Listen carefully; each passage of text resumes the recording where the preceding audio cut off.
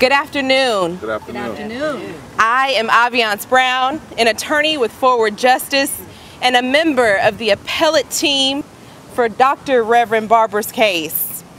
We are disappointed that the Supreme Court did not take up Reverend Dr. Barber's criminal trespass case for review. Both the trial and appellate courts for our state have indeed gotten it wrong here. Yes, ma'am. The trial court refused to hear the underlying constitutional issues and made it hard for Reverend Barber's trial lawyers to preserve those issues for appellate review. Mm. We sought Supreme Court review on several issues, including the constitutionality of protests and the law of trespass in the General Assembly. That's right. We argued that this is the people's assembly. That's right. That's and right. we believe that we were right about the way that the First Amendment applies to the law of trespass in North Carolina. That's right. In every battle, there is one step back, but we will take two steps forward. That's right. We will continue to fight for citizens of North Carolina to be able to exercise their First Amendment rights in this General Assembly. That's right.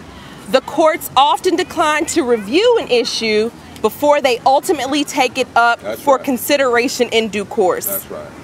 We believe that this court will ultimately come to reckon with and agree with Dr. Barber's position about the critical role of the First Amendment and the scope of its protection in this state. The legal team in this case was comprised of some of the most well respected attorneys in this state, experts in both criminal and constitutional law Irving Joyner, Scott Holmes, Ty Hunter, as well as our powerful team from Forward Justice. It is our honor to represent Reverend Barber as he stands up for people and for the rights of a movement that is calling for transformative change in this country and to usher in a third reconstruction. That's right. As movement lawyers, we know that the people are leading the way to a better justice system, and we are proud to bring the power of the law to support this cause, even when that wrong when that road is long, knowing that we will get there together. That's right. That's Thank right. you. Yes.